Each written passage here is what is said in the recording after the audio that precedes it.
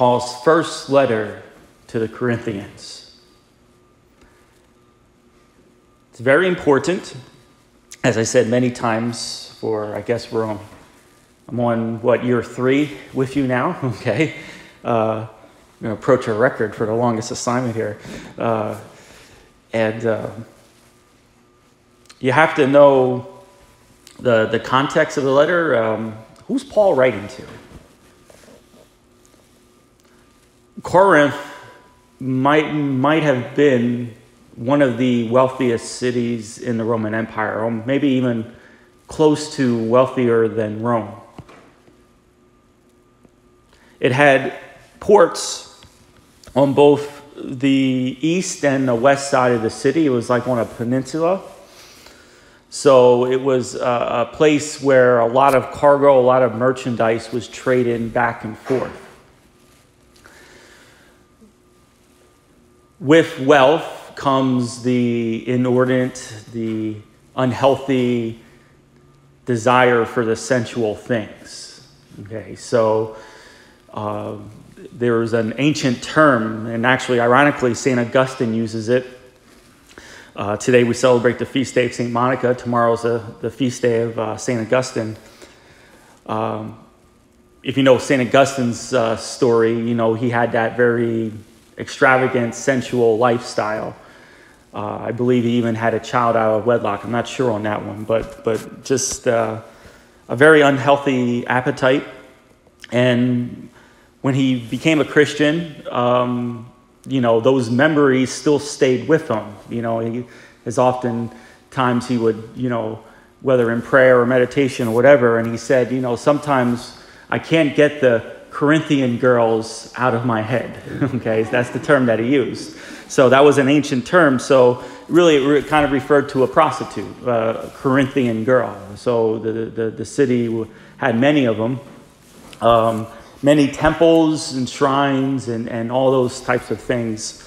Uh, that would, that's Corinth in a nutshell. So when Paul goes there, he's going to a very wealthy city. And so as we look at the beginning okay, verses 1 through 9, chapter 1, the opening address, has his customary with St. Paul's letters, right in the introduction, he gives you the themes that he's going to talk about and that we're going to explore in the rest of the letter. And so let's look at some clues, okay? Let's look at some clues here.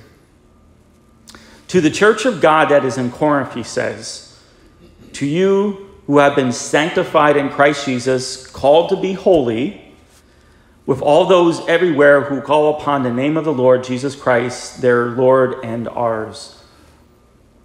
One of the first issues that Paul is going to address is that within the church of Corinth, there is division.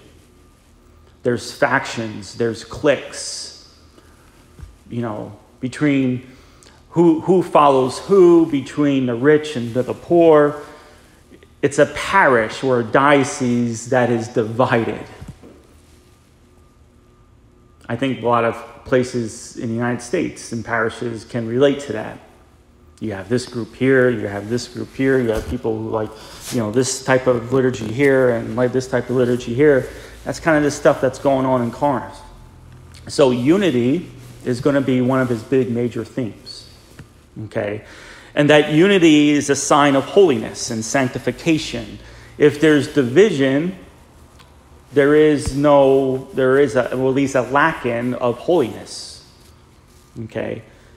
Because again, everywhere, all, all those everywhere who call upon the name Lord Jesus Christ. The second is this, the second half of this first reading. I give you thanks, my God, always on your account for the grace of God bestowed on you in Christ Jesus that in him you were enriched. Okay, notice that word there, enriched, right into a very wealthy city. Okay, but how are they enriched? With all discourse and knowledge and testimony to Christ that was confirmed among you, and that you are not lacking in any spiritual gift. So, as St. Paul loves to do, he likes to throw something that they can relate to and kind of throw it back at them. Yeah, you are rich. You are rich because of the revelations of Jesus Christ. You are rich because of all the spiritual gifts that He has given you. But that's going to lead to our second point is, is going to be their, their conduct.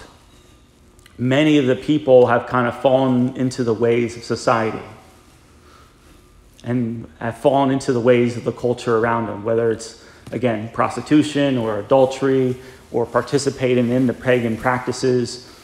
Again, I think it's something that our parishes, our dioceses, has a lot of times there's a movement to kind of conform ourselves to the society that is around us.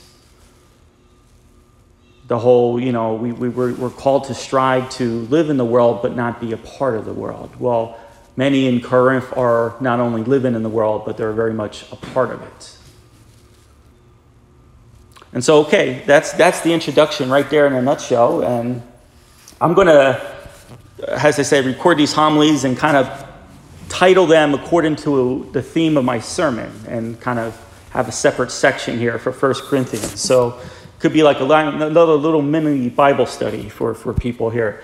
Um, but that's what we're going to be looking at, and that's uh, what we're going to be continuing on here. So the two themes one of unity and one of, uh, of holiness, of, of not conforming to the ways of the world. May God bless you.